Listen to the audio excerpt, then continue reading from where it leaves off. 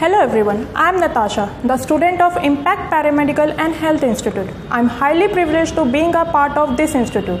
The faculty of this institute very, are very good and supporting. They also provide good placement in private sector. The institute also provides us various educational trips.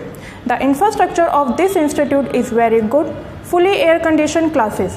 The institute also provided me six months of training at Swami Dayanand Hospital. During my training period, I have got to learn so many things regarding my course. I am very much thankful to be a part of this institute.